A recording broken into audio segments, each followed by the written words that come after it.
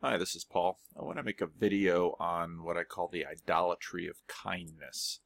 Now, ran into it a couple times on Twitter. Dave Rubin had a really lovely video about a conversation with his grandmother who, who passed away. Uh, Andrew Sullivan, I thought had, I, I read Andrew Sullivan every Friday, and again, really enjoyed this piece that he, he put forward today. I was watching the Democrats for the last two evenings, and last night as I watched, I thought, um, this is all kindness. This is all kindness. Kindness is a wonderful thing.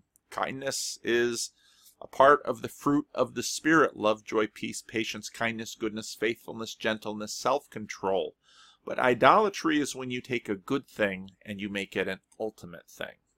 So, so Dave Rubin posted a really lovely tweet about his grandmother. And I I almost don't want to say anything, and I'm certainly not saying anything about the tweet because it's a lovely little conversation he has with his grandmother, but I thought she articulated exactly where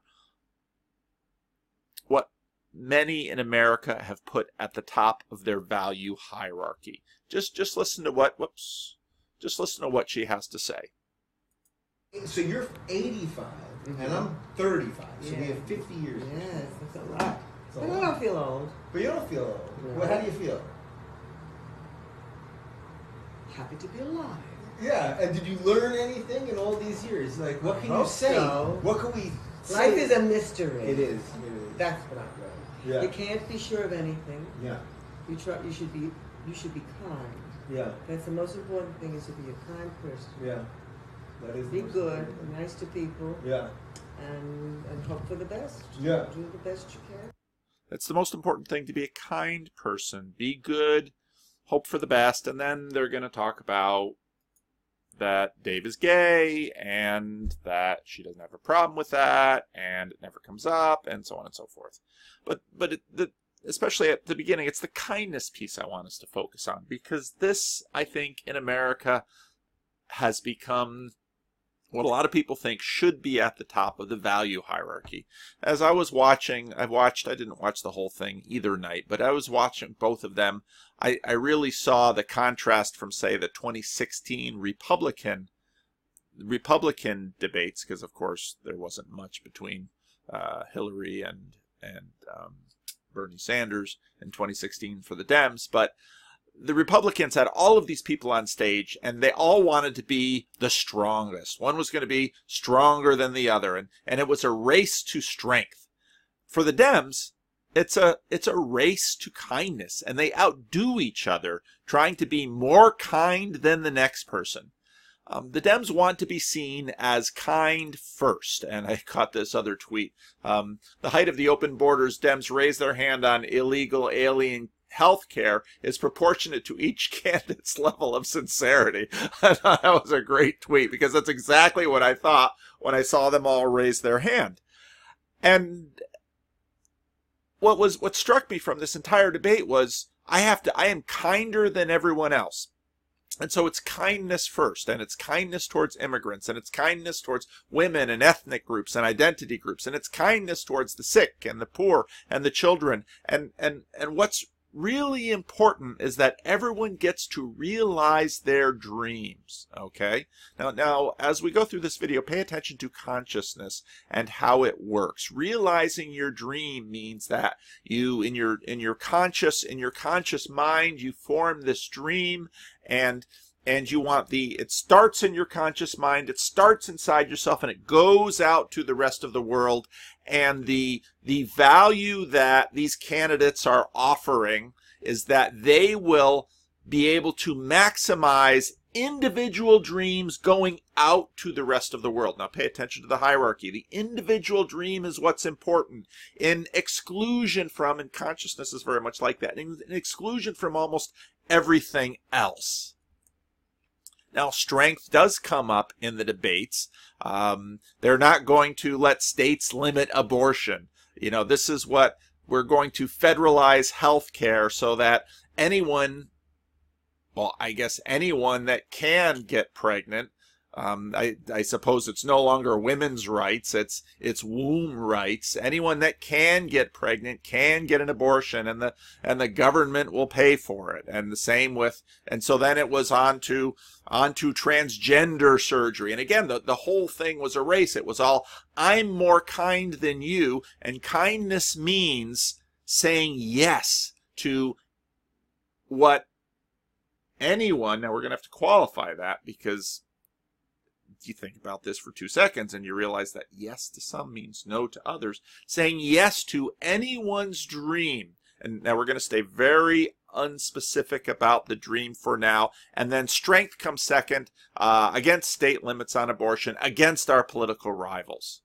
now, now this was almost flipped over completely four years ago with the Republicans because then it was strength first, and it was against evil and for right, and it was military and law and and a strong economy and and strength against our political rivals and and we are going to win in the world against our competitors against China and against Iran and against you know, anyone who chairs dares to challenge us at strength and, and via strength, we will we will get better trade deals and using strength. I mean, everything was about strength with the Republicans, and kindness was second. And every now and then you'd hear the underside. Well, you know, compassion to the elderly and compassion to the unborn. And again, it's it, it was. I mean, watching comparing these years is like, well, these are strength and kindness. Which one is most important?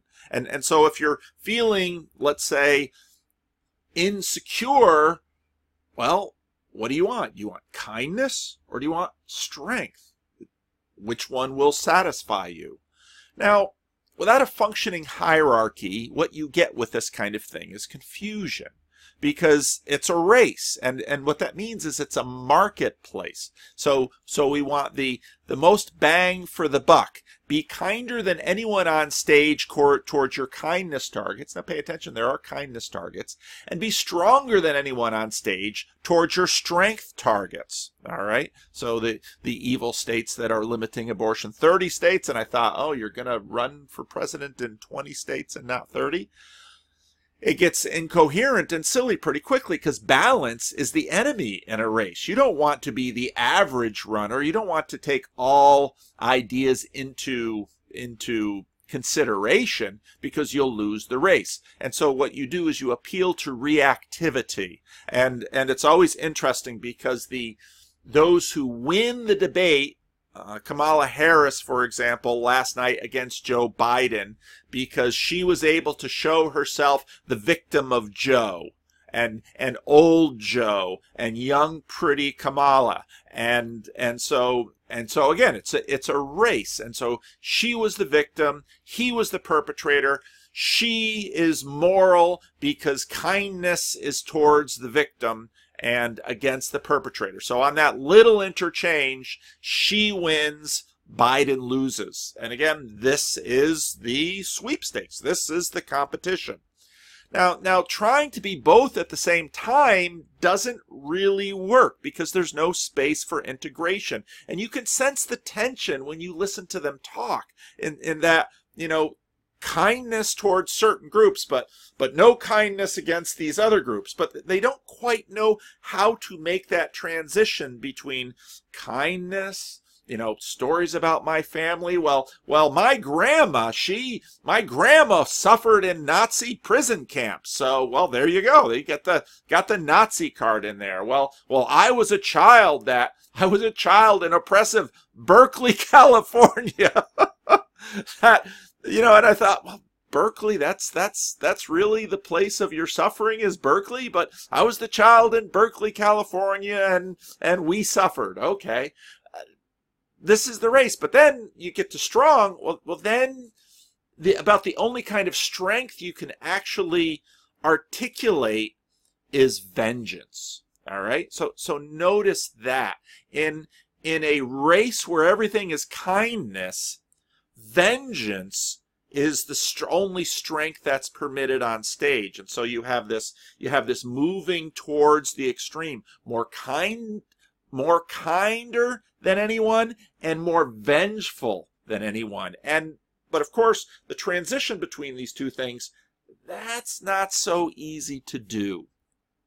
Now, there are there are underlying cross pressures to all of this because you know, kindness and weakness and victimhood, but but that's where the kindness and the vengeance start to come together because well, kindness and power usually come together in mercy. But but because mercy is the powerful showing kindness, but but this grates against the egalitarian ethos.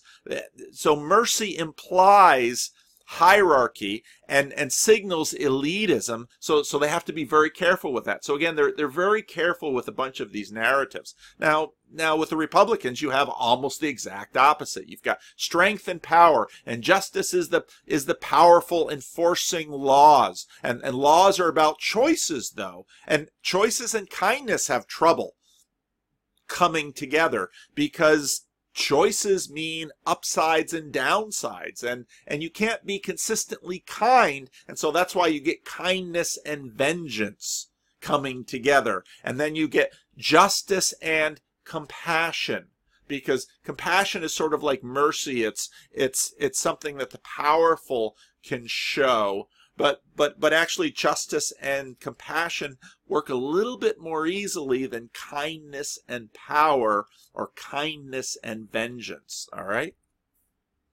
Now one of the one of the pieces I've been really trying to work in for my last few videos have been the progressive evangelicals because I've been reading Frank Schaeffer and, and I really enjoyed his book Crazy for God and, and I want to get into his book um, about being an atheist and being an orthodox Orthodox um, Orthodox Christian. And and so right there again with Frank Schaeffer Frank Schaeffer is someone you know Jonathan Pageau is so good with this stuff. I, I just love the way he he, he talks about these things because because Frank Schaeffer is this is this outside figure. And so he's a fringe figure in, in Jonathan Pageau's center and fringe thing because he's, well, he's, he's a European. He's, he's this perpetual outsider, but in the strange dynamic we have now, he comes in and he speaks he speaks for the he speaks for the group or he speaks for the for the left and so so Frank Schaeffer's a very interesting guy and all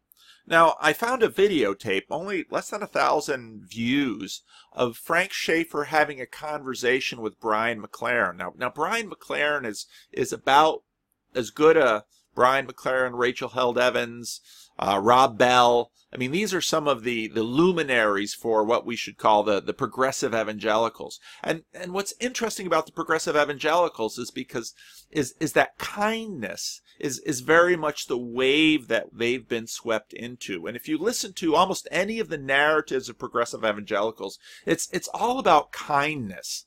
Um, the identity groups come up, of course, and and it, Frank Schaeffer did a reading on his on his latest book at at Books at Google, and it's it's very interesting, and I want to I want to play some of that.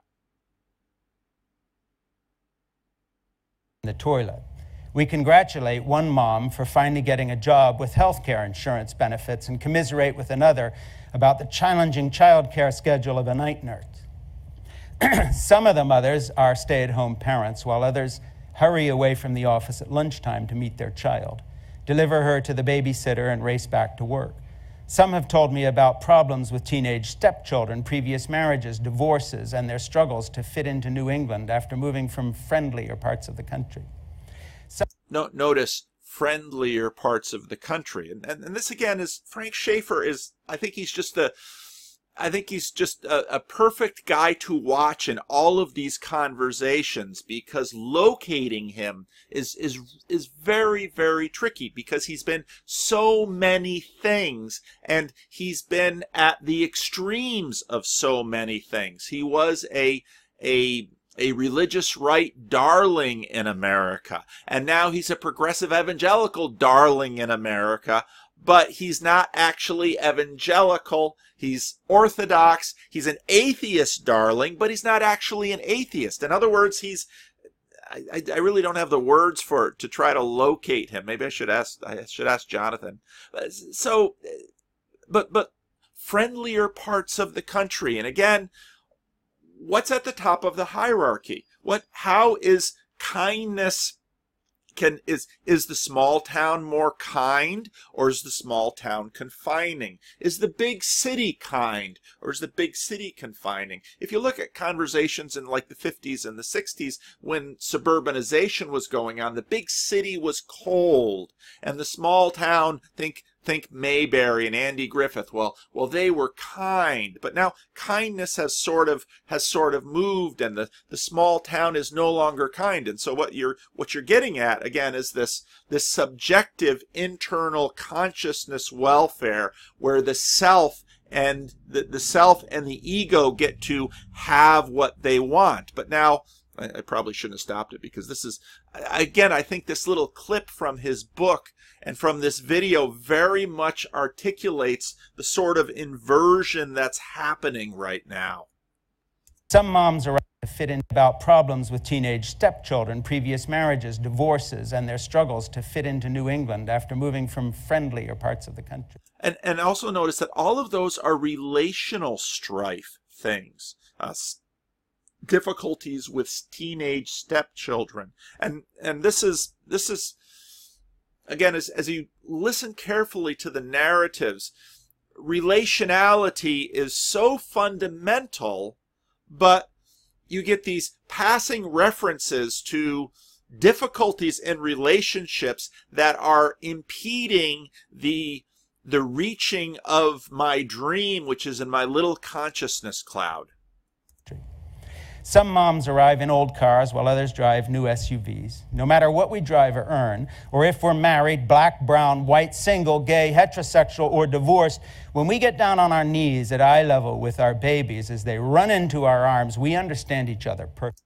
Now, get down on your knees. Well, there's, you know, there's a religious thing, but now we've twisted it. We're getting down on our knees to our babies. Perfectly black cars while others drive new SUVs. Now he's got class, he's got race, he's got sexual orientation. He gets them all in here. No matter what we drive or earn, or if we're married, black, brown, white, single, gay, heterosexual, or divorced, when we get down on our knees at eye level with our babies as they run into our arms, we understand each other perfectly. Now there's a new community. And what's it a new community around? The child we're meeting touches the core of our being. The child we're meeting touches the core of our being. Okay? This is this is hierarchy language. This is at the center, the core, right? This is at the heart. This is at the top. Every mom delights in the pint-sized human shouting, "Hi, mommy." The shouted greeting that makes my heart skip is, "Hi, ba." This is this is the ultimate. This is realization. I'm called Ba. Our shared experience of vulnerability erases the age and gender differences between the young mothers and. Our shared, I mean, this is gold. This, you cannot articulate the ethos of the moment. And this is, this is, I think, you know, Frank Schaeffer's great gift. He can, he senses this stuff. This is what writers do and just lays it right out there. And this is this is the Democratic primary right here. Me. We share a fearful solidarity. Call it the flip side of love. The flip side of love. Hmm. If anything awful were to happen to the child clambering into our arms, the universe, as we know it, would end think about what he just said. And again, I want to I want to back this up because this whole thing is is really important. Babies as they run into our arms, we understand each other perfectly.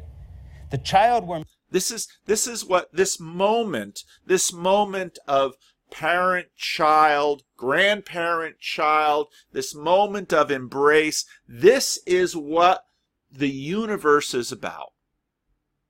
This is exactly our moment. Okay, this is this is what is at the top of the hierarchy. This realization of the dream, and I have so many thoughts that go through my head when I make these videos. This is this this has become God.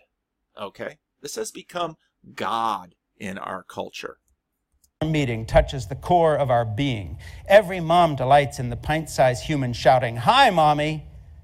The, the, the irony, though, that this is about a child is about a small child and a young child is because small children, young children are in many, many ways um, more subservient to our will. You know, you remember what got mentioned earlier in the group, the the the stepchild. Well, well how how are stepchildren? Well, death or divorce. And and divorce got mentioned in there. Divorce is is on one moment a a a cause of stigmatization. Well, that person's divorced. But on on the other moment, divorce is uh, an artifact of a failure of exactly that moment. Now, now what's so important about here is that again, it's the parent-child moment. It's often it's imagined to be the the consensual um, adults moment, but again, listen, listen to this whole thing. This is this is gold. What he's got going on here. This is this is exactly where we're at as a culture. Night nerds. Some of the mothers are stay at home parents, while others hurry away from the office at lunchtime to meet their child, deliver her to the babysitter, and race back to work. Some have told me about problems with teenage stepchildren, previous marriages, divorces, and their struggles to fit into New England after moving from friendlier parts of the country. All relational, but all relational things that have that have clouded the, the cloud of consciousness. Some moms arrive in old cars while others drive new SUVs. No matter what we drive or earn, or if we're married, black, brown, white, single, gay, heterosexual, or divorced, when we get down on our knees at eye level with our babies as they run into our arms, we understand each other perfectly. That's what we have community around. The child we're meeting touches the core of our being. Every mom delights in the pint sized human shouting, Hi, mommy! The shouted greeting that makes my heart skip is, Hi, Ba. Now, of course, if you read if you read Crazy for God, the the message you get about his parents is neglect. That that Francis and Edith weren't there for him. So again, we could play psychologist and say, well, is it any wonder it's that parent child thing that for him is now at the center of his emotional worldview? I'm called Ba. Our shared experience of vulnerability erases the age and gender differences between the young mothers and me. We share a fearful solidarity, call it the flip side of love. If anything awful were to happen to the child clamoring into our arms, the universe as we know it would end. The universe would end. Well, well, what is existence? What is life? And so, with a passage like that, what I try to do is something that I see too little of in a lot of writing about philosophy and religion, which too little of in a lot of writing about philosophy of religion, but just about all the rest of the writing. All I do is something that I see too little of in a lot of writing about philosophy and religion, which all is part of this certainty addiction that does not embrace the paradox, and that is it. The certainty addiction. Well, I, I would say it's it's more than certainty. It's it's it's multiple views. Okay. Puts it in these kind of didactic intellectual terms. It is not where anybody lives it is not where anybody lives. Well, well, that's so striking because, well, where does everyone live? Well, everyone lives right there where you live. And I thought that was the great crime. And what we all care about is our version of Lucy and Jack, whether we're married or single or gay, straight, whatever it may be. We have in our lives a completely different dynamic than the official belief system that we say we subscribe to. And it the official belief system we say we subscribe to. It has to do with the people we love and what we actually care about and what makes us tick. And so, what I've tried to do in this book is be as honest as I can about that and not uh, keep trying to act as if I have some omniscient view to. Not, not act like I have a monarchical vision of the whole world. Share with people that will lead them to my truth as if somehow that's an exclusive truth. And to get away from that, I do two things. I uh, p- part of what's interesting about exclusive is that there's nothing more exclusive than Ba and his grandchildren. Other children aren't included in that. Every other child isn't included in that. In fact, this is the most exclusive relationship you can imagine, mother and child. Or, or, you know, it, in fact, one might argue that the parent child is, is even more exclusive than lovers in a certain way, especially in our present context. I write in this way as a novelist, as a storyteller, but I also then come back and describe what I believe or don't believe the way the earlier passage uh, landed. Now, what's so interesting here is, is there's assertion, demand, is that face-to-face, personal, subjective be at the top of the hierarchy of our knowledge and behavior. And this is extremely common right now. And, and this is an attempt, I think, to reintegrate the subjective, but now at the top. A new monarchical vision, or rather, really a solipsistic vision. And, and again, you, you see this when you listen, for example, to the Democratic debates. This is, this is exactly the language they are all doing there. They continue to try to frame experience within the personal relational. Notice how often they get into their personal story. And everybody needs an angle into some of the stories, and it has to be a personal angle. So Joe Biden's son died of cancer and served in Iraq. Camilla Kamala Harris, well she she's a person of color and she's a woman, so well points for that. And it's very interesting because because really before she was senator, her her only claim to fame was being attorney general, which is so now you've got strength, and so you can see in many ways that despite the fact that politically someone would would look for an executive office like like a governor or something for um, you know as a qualification for this job and and often the republicans use business but her qualifications tend to be well, her identity aspect. She was a victim. She's a woman. She's a person of color. And, and so, and again, listen to these right away. That the most interesting, one of the most interesting people on stage was the author who she's not even caring about the details or policy or laws or anything. She goes straight to the metaphysical or she goes straight to the metaphorical. And and and again, what we're trying to do is we're trying to reintegrate the subjective into the world. So so we are very much getting postmodern here because modernism was all about the monarchical vision and, and all about this objectivity. And so here Frank Schaeffer saying, none of that stuff matters. It's all about the, the impersonal and gay or straight, wealthy or poor, single or married, or uh, none of those things matter. It's all about that moment. But then a few moments later, it won't just be all about that moment because, well, you can't manage your hierarchy.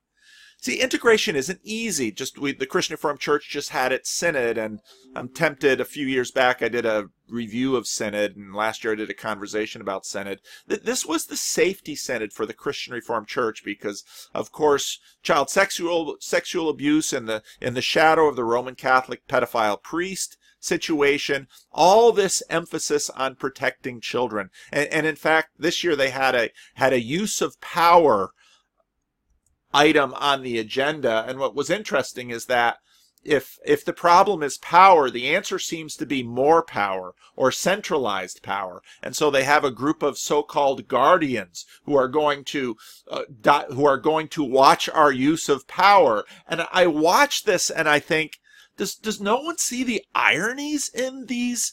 in these strategies it's it's sort of like if you have a leak in the basement um, what you know, water is leaking into your basement. The the answer is a garden hose, and, and it's like the answer to the answer to flooding is water. Uh, this doesn't make any sense, but this is the age we're living in right now. And again, one of the moments at our synod was they had everyone do something like with a rock or something. If you knew someone that was a victim of of of sexual abuse, uh, now the thing is, if if if I heard that someone was if my children aren't little anymore. But but if if my so I heard that someone was molesting my child, I mean I I I I'd burn anything down that stood in the way of me protecting my child. And and that gets into again this moment of of of Frank Schaeffer and and this and this togetherness bond. But here's the thing that we all know about this. We don't let the judge whose spouse was killed in a DUI try DUI cases for this very reason. We have jury selection about this. Uh, we, we try to get people out of it. People who have, in many ways, personal information, personal contact that might distort what? Objectivity. And, and so we have all of these tensions going on right now that that we don't really know how to resolve, but we're trying to run the world with them. Now, now when I was thinking about this, I thought about now now John and I have scheduled a conversation and we're going to talk sometime in in mid-July. You know, one of the one of the comments that that he made about Luther and narcissism and that's something I really want to at some point hope to explore with him because he's got a point, but you know, I, I want some ways to challenge it and because this is i was we sang a song last sunday and it's not really my favorite song. I stay out of song selection in the church because i've already got enough hands and enough things in a little church like this. But there's a song that has says you know basically of jesus you took the fall and thought of me above all. And every time we sing that line in that song i think of narcissism and and and these this protestant penchant for narcissism. That is that is very much an element in the overall narrative, you know, especially of of Protestantism. And now it's very interesting looking at these progressive evangelicals moving further down that way, complaining about Christianity because there's too much law, there's too much objectivity, it's getting in the way of this this holy huddle, this, this intimate embrace, this, this moment of face-to-face meeting. And, and if my, ch- if something would happen to my child, my universe would be gone. You have unconditional love in, in Protestantism, especially in Calvinism. You know, no pre-qualifications, no overt behavioral um, qualifications but this obviously can never be maintained. And again, in, in Frank Schaeffer's thing, you have tales of it in people's backgrounds, the stepchild that, that you can't have this connection with. The divorce, the person that, that you got together with and pledged undying love and you couldn't make the relationship work. And, and this again gets into this, if the monarchical vision is timeless because it's objects in space. The solipsistic vision is also timeless. And again, both of these are a function of consciousness, which is in a sense a timeless moment. And, and then the question is, what is filling that timeless moment? Now, these progressive evangelicals are rebelling against the law, and, and this has always been a tension in, in evangelicalism. You had you had Billy Graham running his crusade, and and again and again the the stadium evangelist says, "Come just as you are. You you know just come just as you are." Well, well, pretty quickly, and they might not tell you that up front. They're not going to want to keep you as you are. And, and I think that's actually important and true because behind the whole idea of coming forward is the idea that there's something lacking in you. But we have this strange we have this strange fantasy in our culture that says the better me in the future can be had without, to use Jordan Petersonism, burning away the dead wood. All these things that we're at right now. You know, Jordan Peterson, one of the better moments of the um, of the one last question with David Nasser was when Peterson gets to that point of of getting at the heart of this this thing that has that has kind of occupied not just Protestantism, but but really Christianity. This question about God's agency or ours. And I'm reading a terrific book right now, which I can heartily recommend. Uh, Ron Dart recommended it to me. Uh, Erasmus, Luther, and the Fight for the Western Mind uh, by Michael Massing. So many of these issues boil down to to Erasmus. When Erasmus, you know, takes the Vulgate and he's a big fan of Jerome, but he starts realizing that, for example, one of the differences between the Latin and the Greek was the in Ephesians 5, Paul talks about marriage as the Vulgate translates it a sacrament, where in Greek, the Greek was mysterion. And you begin to find all of these elements of the New Testament that, that are different in the Greek from the Latin that, that Jerome didn't translate very well, and in fact, even even even Erasmus cheated in a number of areas as he was working through that. And it becomes the Textus Receptus and the base for the King James Bible. So you have this tension between the church and an established group of ideas, and then this science that can now, literary science that can now penetrate even deeper and and you get into these questions because I'm reading this at the same time I'm reading um, the the book on Barfield that that Mark Vernon sent to me, and and so you, you begin to realize that boy, all of these things come together in terms of question. Well, well, what is language, and how does it work, and how does it how does it what does it evoke in us? and and and then we begin to wonder well well what is god moving and what is me and and then what is spirit I think the best treatment on love and kindness comes from C.S. Lewis, The Problem of Pain. And so I want to read some of that.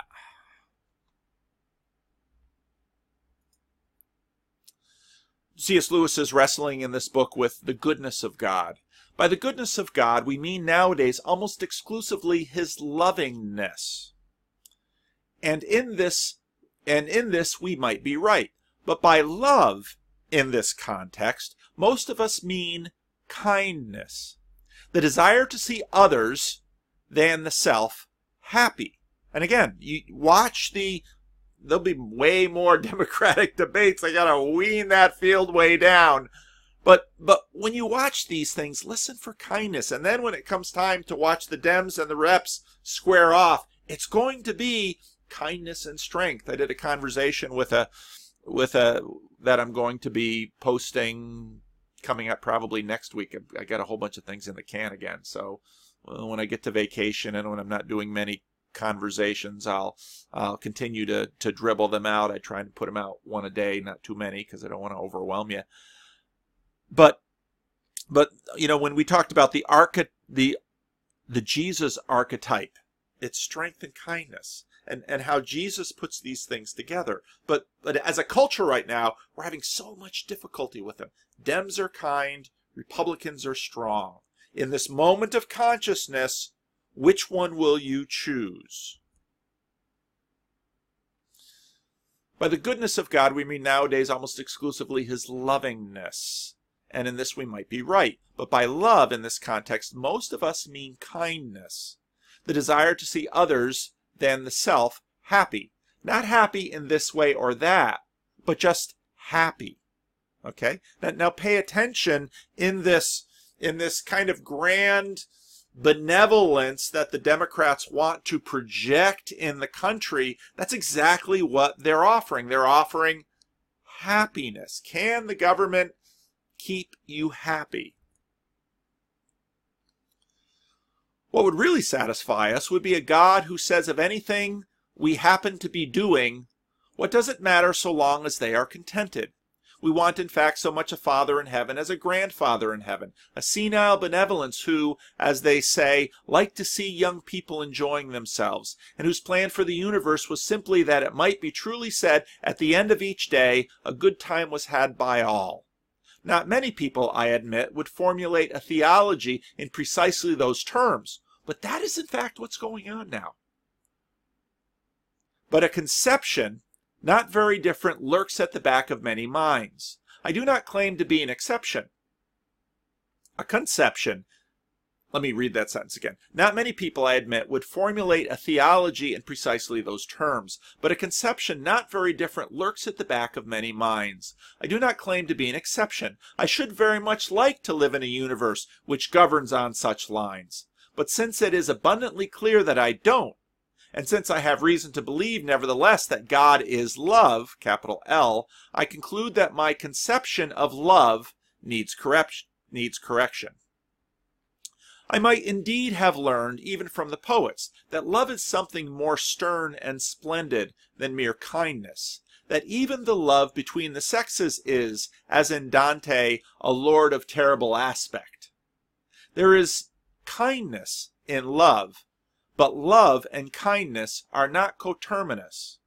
And when kindness, in the sense given above, is separated from the other elements of love, it involves a certain fundamental indifference to its object.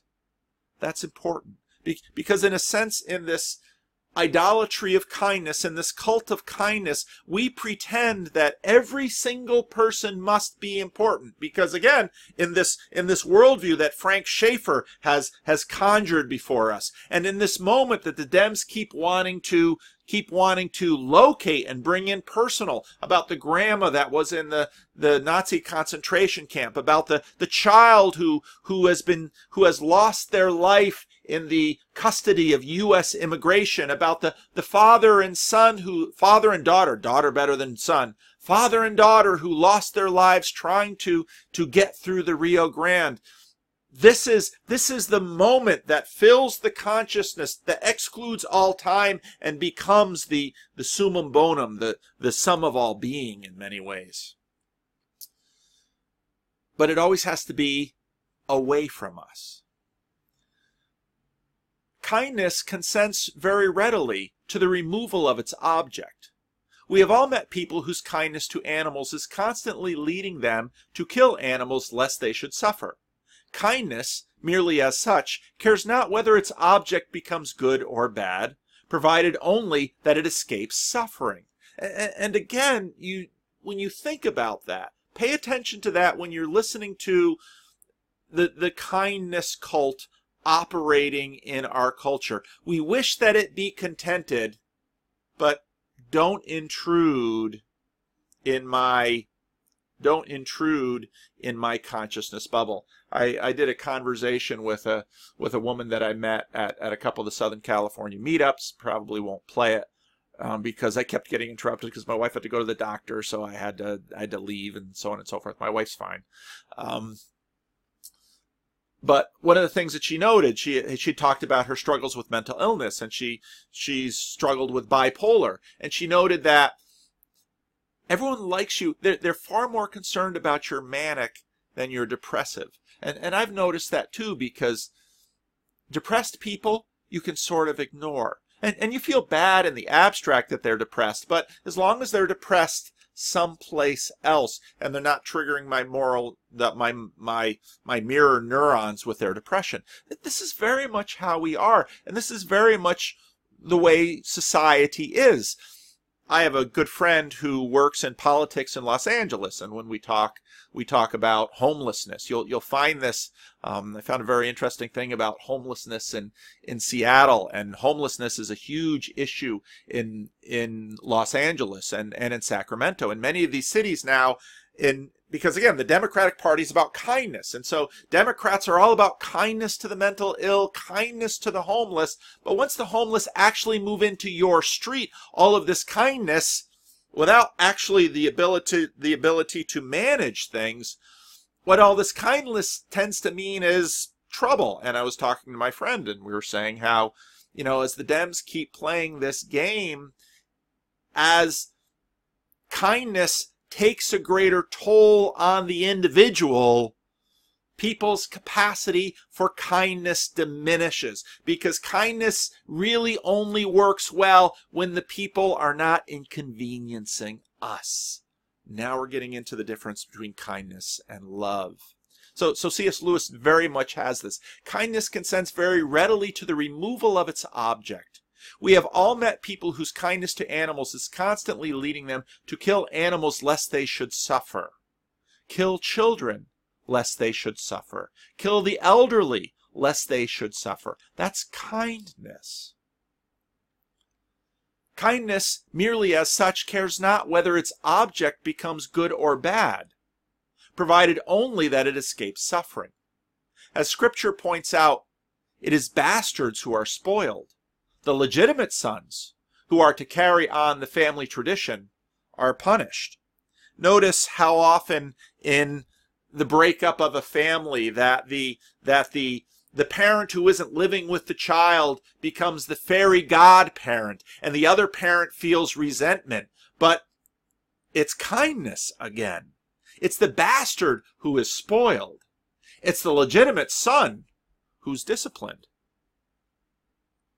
the legitimate son who are to sons who are to carry on the family tradition are punished it is for people whom we care nothing about that we demand happiness on any terms doesn't matter how much money it costs. Doesn't matter how the other people who are living in the underclass of America feel about all of the other immigrants who are going to be living in the cheapest places of America.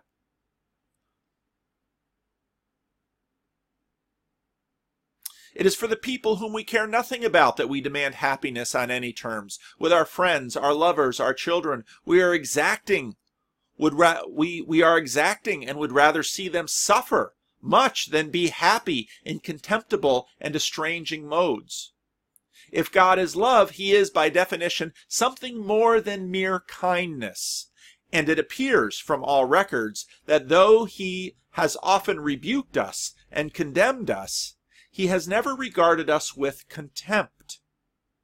And, and that perhaps is, is what's wrong with with Jonathan Jonathan Edwards, Sinners in the Hands of the Angry God. And I, w- I would recommend you actually read that rather than just read the little excerpts because God doesn't treat us with contempt, Lewis says.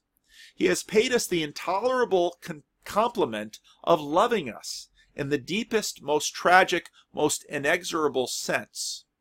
The relation between creator, capital C, and creature is, of course, unique now we have the parent child, just like in Frank Schaeffer's moment, and cannot be paralleled by any relations between one creature and another. God is both further from us and nearer to us. Let that sink in. God is both fur, further from us, holy, holy, holy, God number two, and nearer to us, God number one, immanence, than any other being.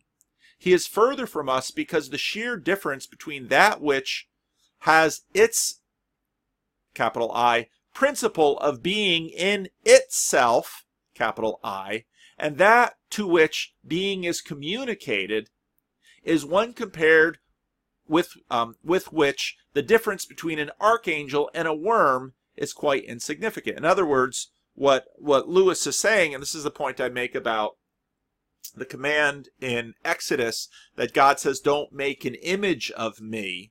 Because what we do when we make an image of God as derived from the creation is we take an element of the creation and represent God in that way. And, and what God is, is saying here, and what Lewis is saying here, is that the one that creates is categorically different than the thing that was created. He makes, we are made. He is original, we derivative. But at the same time, and for the same reason, the intimacy between God and even the meanest creature is closer than any that creatures can attain with one another. Our life is at every moment supplied by Him. Our tiny miraculous power of free will only operates on bodies which His continual energy keeps in existence. God number one. Our very power to think is His power communicated to us. Our consciousness, I'm not reading, is His consciousness given to us. Such a unique relation can be apprehended only by analogies. From the various types of love known among creatures, we reach an inadequate but useful conception of God's love for man.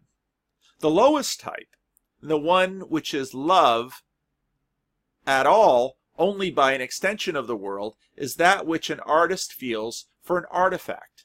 God's relation to man is pictured thus in Jeremiah's vision of the potter and the clay, or even when St. Peter speaks of the whole church as a building on which God is at work, and of the individual members as stones. Livingstone's Church. The limitation of such an uh, the limitation of such an analogy is, of course, that in the symbol the patient is not sentient, and that certain questions of justice and mercy which arrive which arise when the stones are really living, therefore remain unrepresented.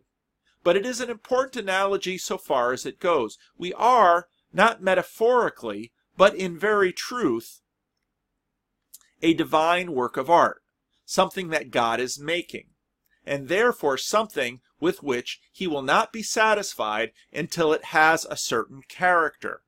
Here again we come up against what I what I have called the intolerable compliment. Over a over a sketch made idly to amuse a child, an artist may not take much trouble. He may be content to let it go even though it is not exactly as he meant it to be.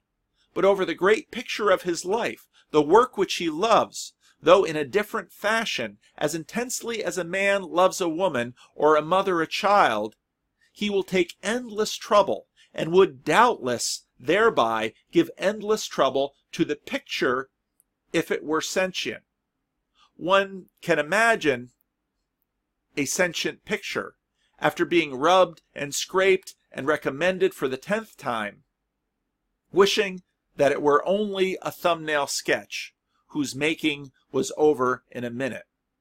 In the same way, it is natural for us to wish that God had designed for us a less glorious and less arduous destiny. But then we are wishing not for more love, but for less.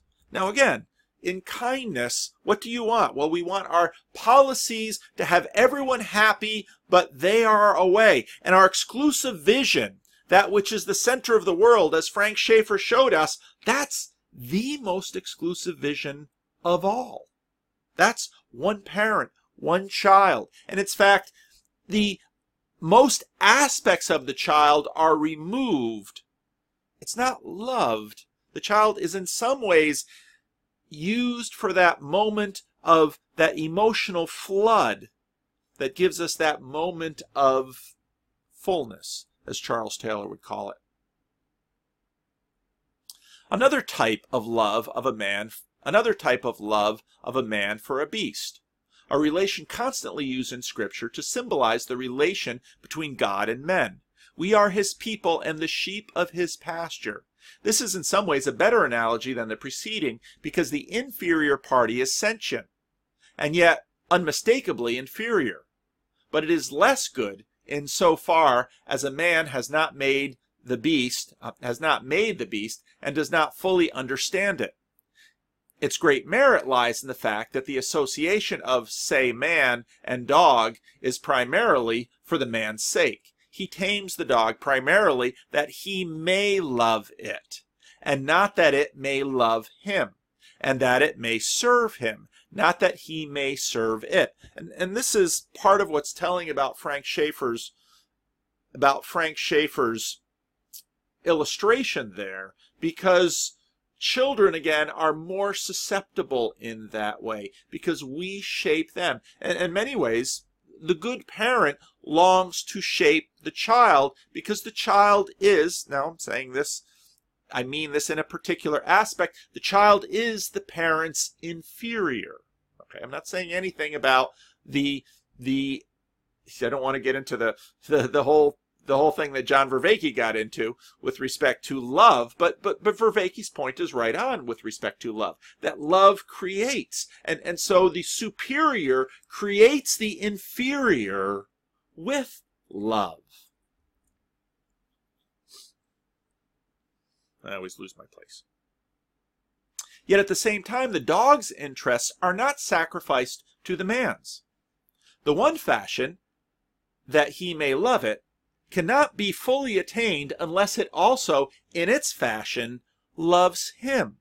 nor can it serve him unless he, in different fashion, serves it. This this sort of gets into John's Piper. I think John's Piper, John Piper's greatest book was Desiring God. That's kind of his Christian hedonism. I think was really clever insight that he actually gets from Jonathan Edwards. But but we are most fully satisfied when God is satisfied with us. The child is most fully satisfied when the parent is satisfied with the child. The dog, and I have a dog, the dog is most fully satisfied not when the dog is somehow free. You know, if I were to, if I were to, some, my dog likes getting out. I open my door, the dog goes out. But guess what? The dog comes back. The dog is most satisfied not when the dog is free, but when the master is satisfied. And, and if you begin to focus on what this means, that, that's a very different vision of kindness where the satisfaction is theoretical and at a distance and uninvolved.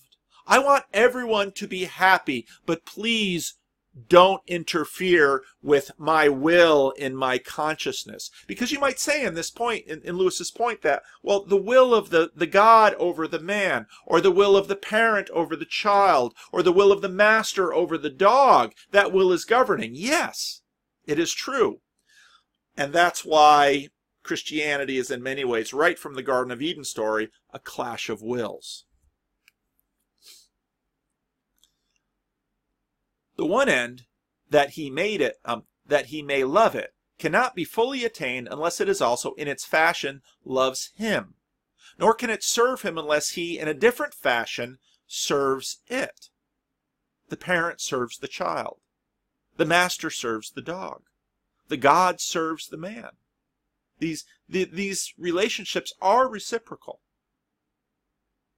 Now, just because the dog is by human standards one of the best of irrational creatures and a proper object for a man to love of course with degree with with that degree and kind of love which is proper to such an object and not with not with silly anthropomorphic exaggerations man interferes with the dog and makes it more lovable than it was in mere nature in its state of nature, it has a smell and habits which frustrate the man's love. He washes it, house trains it, teaches it not to steal, and is so enabled to love it completely.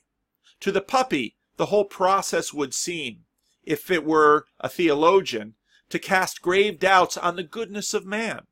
But the full grown, fully trained dog, larger, healthier, and longer lived than the wild dog, and and admitted, as it were by grace, to a whole world of affections, loyalties, interests, and comforts entirely beyond its animal destiny, would have no such doubts. It will be noted that the man, I am speaking throughout, I'm speaking throughout of the good man, takes all these plans with the dog, and gives all these pains to the dog, not because it is an animal high in the scale, but because it is so nearly lovable that it's that it is worth his while to make it fully lovable. Now again, this is where now the dog shopper might pick a breed that has qualities that the master loves, but once the relationship is entered into, my dog, my dog Mookie, um, is mostly blind. I was walking the other day on the levee and I saw a man throwing, having a wonderful time with a tennis ball with his gold, with his, with his yellow lab, throwing it in the river, throwing it, and was just joyful watching that lab chase that tennis ball down and bring it back to the master. And I laughed inside my head because Mookie could never do that. And so, some might say if I were a consumer with respect to my dog, I would get a new dog. And, okay, rightly so but I love Mookie, and Mookie loves me. That that love has been formed in time, and, and this is where this idea of consent really breaks down because I have molded the dog, and the dog has molded me. The parent molds the child, the child molds the parent. The God molds the human, the human molds the God. Is God open to our influence? The Bible certainly says so. That's prayer. It will be noted that the man, I'm speaking of the thoroughly good man, I'm speaking throughout of the good man, takes all these pains with the dog and gives all these pains to the dog, not because it is an animal high in scale, because it is so nearly lovable that it is worth while to make it fully lovable. He does not house train the earwig or give baths to the centipede. He may wish indeed that we were of so little account to God that he left us alone to follow our natural impulses, that he would give over trying to train us into something so unlike our natural selves. But once again, we are asking not for more love, but for less. The nobler analogy, sanctioned by the constant terror of our Lord's teaching, is that because God's love for man and a father's love for a son. Whenever this is true, however, that is, whenever we pray the Lord's Prayer, it must be remembered that the Savior used it in a time and place when paternal authority stood much higher than it does in modern England, certainly much higher than it does in contemporary America a father half apologetic for having brought his son into the world, afraid to restrain him lest he should create inhibitions, or even instruct him lest he should interfere with his independence of mind, is a most misleading symbol of the divine fatherhood. I am not here discussing whether the authority of fathers in its ancient extent was a good thing or a bad thing. I'm only explaining that the conception of fatherhood would have meant to our Lord's first hearers, and indeed to their successors for many centuries. And it will become even plainer if father regarded his own if father regards his own sonship, surrendering his, his will wholly to the paternal will, and not even allowing himself to be called good Jordan Peterson brings that up in his um, Dare He Say He Believes in God. Because good is the name of the Father, capital G good, capital F Father. Love between father and son in this symbol means essentially authoritative love on one side and obedient love on the other. The Father uses his authority to make the Son into the sort of human being he, rightly and in his superior wisdom, wants him to be. Even in our own days, though a man might say it, he could mean nothing by saying, I love my son, but I don't care how great a blackguard he is, provi- he is provided he has a good time. Finally, we come to the analogy Finally, we come to an analogy full of danger and of much more limited application, which happens nevertheless to, to be the most useful for our special purpose at the moment. I mean the analogy between God's love for man and a man's love for a woman.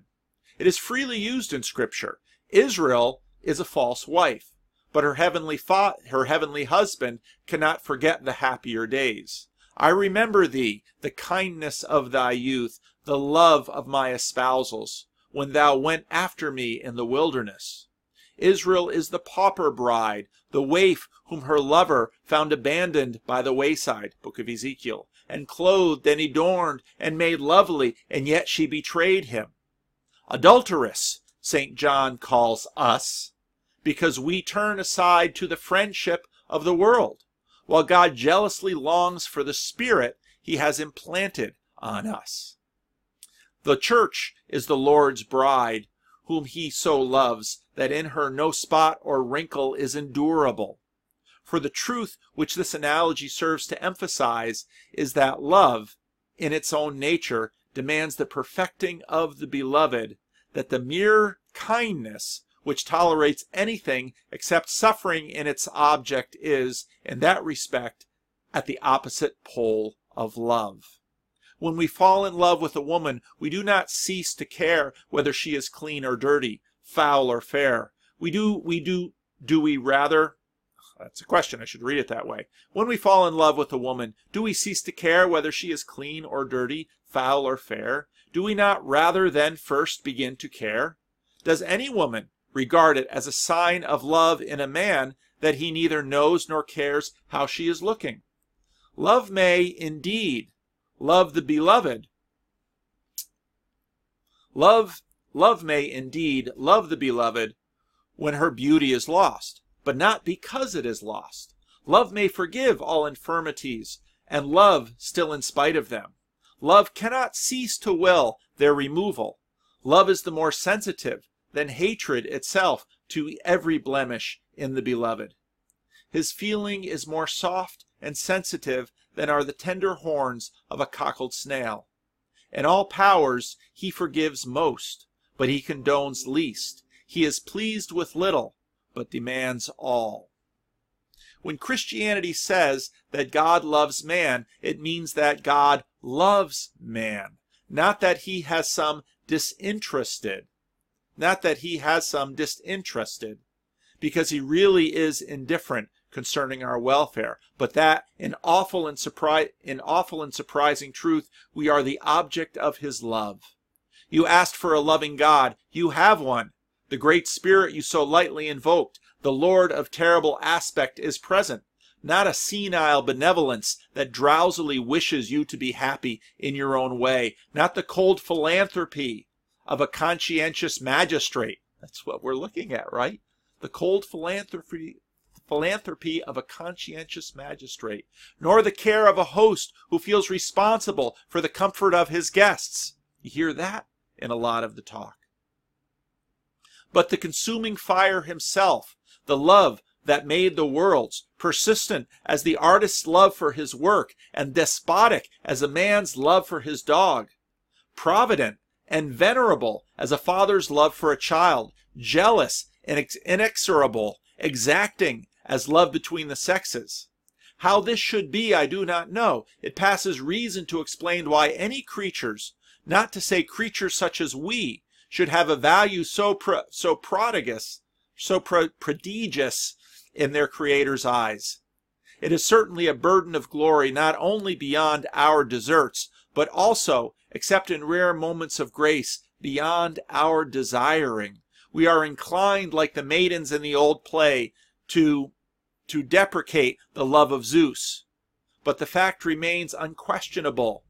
The impassible speaks as if it suffers. Pa- the impassible. That's I am capital I. It's it's Aristotle's unmoved mover.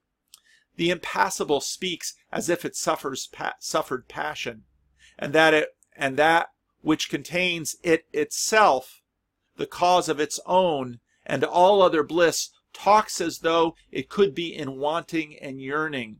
Is Ephraim my dear son? Is he a pleasant child? For since I for since I spake against spake against him, I do earnestly remember him still. Therefore my bowels are troubled for him. How should I give thee up, Ephraim? He's reading from the book of Hosea. How should I abandon thee, Israel? Mine heart is turned within me. O Jerusalem, how often would I have gathered thy children together, even as a hen gathereth, gathereth, her chickens under her wings, and ye would not.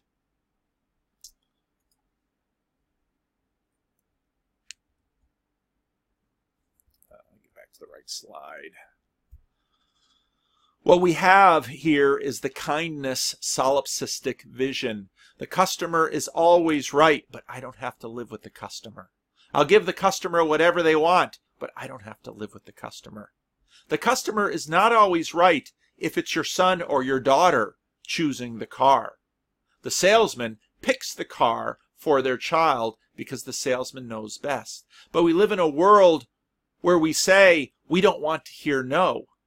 This gives us up to the eternity, the tyranny of the will, and the tyranny of the ego. I, I laugh so often because I find people saying again and again how the ego is bad, but we're shaping our entire culture to simply feed the ego. And it makes no sense. If you want to read another C.S. Lewis book, read The Great Divorce, where it opens up in a world where you can have absolutely everything you want just by thinking of it. It's a perfectly libertarian world because you can't impinge on anyone else. Go ahead and start reading the book and read about that world and see how you like it. A couple of important pieces came out in the whole conversation about gay marriage and uh, the the piece in the Washington Post that a lot of people have commented on was was striking because it very quickly noted that equality and liberation are not the same thing. And and the piece in the Atlantic um, about cruising in the age of consent. Both pieces really made me think of half of the image of God.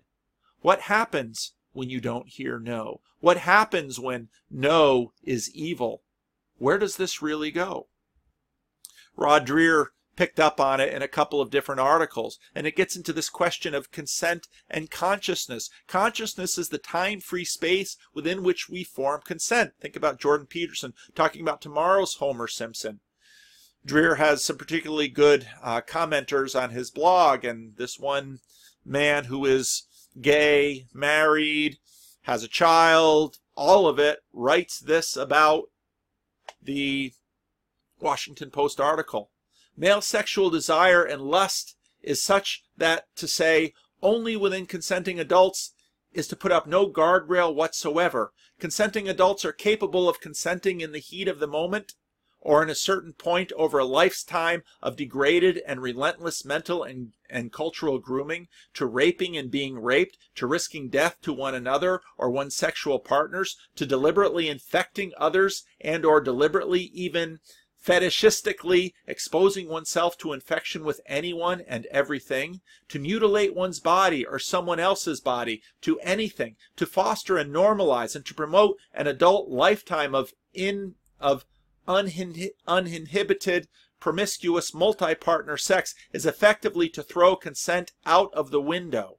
It cannot be done. People are human beings. They are not superhumans or machines, and you will break down in spots or places over time. You will find that your will fails, and the evil part of you, we all have that within us, that is evil, all of us, somewhere, overwhelms you in some places the amazing thing that in the kindness culture says, okay, if you need a rule, this libertarian kindness means consent. Do what you want as long as you don't hurt anyone. But we don't really give people the rights to hurt themselves.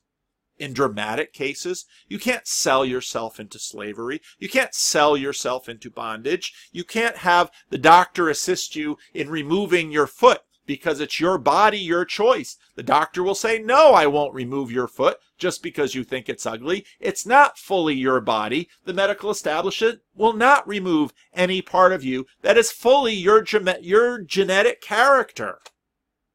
Kindness, we say, oh, okay, let them take off their arms and their legs. Let them take off their penises and their breasts. As long as they're not my child, I talk to therapists who are talking to parents who are seeing their children who want their breasts and penises removed, and the parent dare not say no because this six year old or this 10 year old or this 14 year old thinks they are something or something not. Right there, consent, that little will, that consciousness. Kindness says, well, if it'll make you happy, okay, as long as I don't need to live with you as long as you're depressed quietly in a room somewhere and not manic intruding into my willful little space. Kindness and love are two very different territories. Kindness is always having to say yes. Andrew Sullivan posted a article today. The first article was on was on immigration and and Andrew Sullivan made a great point. Yeah, immigration. Everyone on the Democratic stage, we're going to be kind to immigrants. Are you also going to be kind to the neighborhoods where the immigrants flood into? Are you going to take them into your home? We want the federal government to take care of them. That's kindness. Love is living with them. And then the second part, he's he's saying that the the numbers with the numbers are, are starting to move in terms of young people and LGBT issues. So as I said, the, the Democrats are, are living in a bubble that they're they're not paying attention to what the real world looks like when they talk about immigration or or maybe even health care. But then the second part was was even more striking. I wondered when this would happen, how long it would take. I asked before a younger generation revolted against the new against the new orthodoxy that there is no sex binary or gender binary or indeed any place for biology in understanding the differences between men and women? How long before boys rebelled against the notion that their sex is actively toxic and in need of psychotherapy? How long before girls felt violated or just uncomfortable seeing people of the opposite biological sex in their bathrooms? It's probably as much those people seeing them. Bathrooms, locker rooms, and showers how many are miffed that they have they have to compete with biological males in athletic in athletic contests? New data suggests that the time could be now. For the first time, we're seeing a sharp drop in tolerance of LGBTQ people among the young generation. This is, enti- this is an entirely new phenomenon. It used to be the young that spearheaded toleration and inclusion. Now we're suddenly bolting in the opposite direction. The number of Americans 18 to 34 who are comfortable interacting with LGBT, LGBTQ people slipped from 53% in 2017 to 45% in 2018. It's one year. The only age group to show a decline. According to the National GLAAD um, Accelerating Acceptance Report and that is down from 63% in 2016. Perhaps they should rename the report Decelerating Acceptance. 36% of young people said they were uncomfortable learning a family member was LGBTQ in 2018 compared to 29% in 2017 and 24% in 2016. 34% were uncomfortable learning their doctor was LGBTQ versus 27% a year earlier.